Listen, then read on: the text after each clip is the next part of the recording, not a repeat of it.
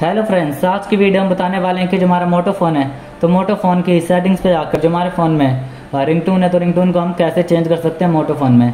तो video start करने से पहले हमारे चैनल को लाइक करें सब्सक्राइब करें, साथ में बेल आइकन दबाना ना भूलें। तो वीडियो स्टार्ट कर लेते हैं।